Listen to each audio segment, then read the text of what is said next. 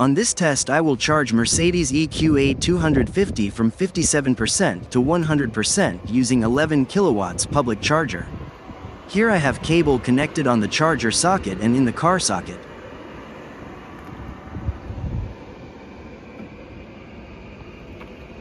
Green light indicates that charging is ongoing.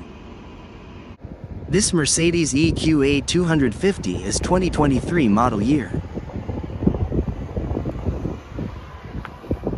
Let's see first a bit of statistics of my driving. From start I have driven 31 kilometers with average consumption of 11.8 kilowatt hours per 100 kilometers, which is quite typical of my daily driving on summertime. From reset it shows 17.9 kilowatt hours per 100 kilometers, which is since I got this car one year ago. It contains all year weather conditions including wintertime minus 20 Celsius temperatures and summertime plus 25 Celsius temperatures. So let's see how much electric range it will show with full 100% charge. Here we can see that charging is ongoing using 11 kilowatts AC charger.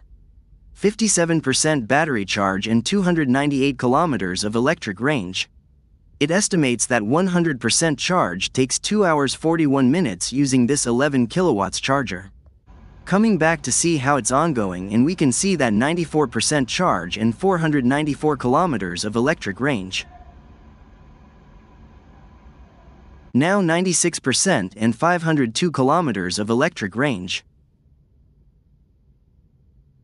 It still takes 16 minutes to get a full 100% charge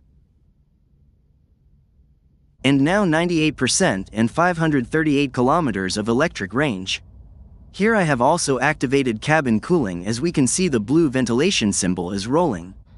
And now almost full 99% and 546 kilometers of electric range, but we still need to wait 3 minutes until 100% charge.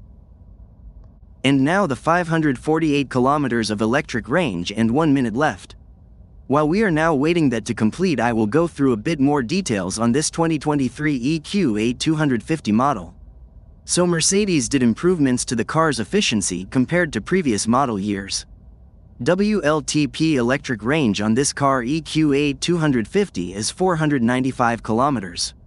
This car has also optional zero-cost factory roof rails delete option which gives also some extra 3 kilometers of electric range. Netto usable battery capacity is 66.5 kilowatt hours and electric motor power is 140 kilowatts which is 190 horsepower. This EQA has also 18 inches standard summer tires, so this car is a pretty basic car. The EQA 250 price in Finland was 49,990 euros including taxes on 2022 when this car was ordered and delivery was on first quarter of 2023. My weekly driving route is mainly suburban and urban areas, where electric cars are on the most efficient in generally. It also explains why I can get these very high electric range numbers and even much more electric range than official WLTP range. But let's see how much range it will give, still some seconds left. Okay, so now we have 100% charge and number is 550 kilometers of electric range.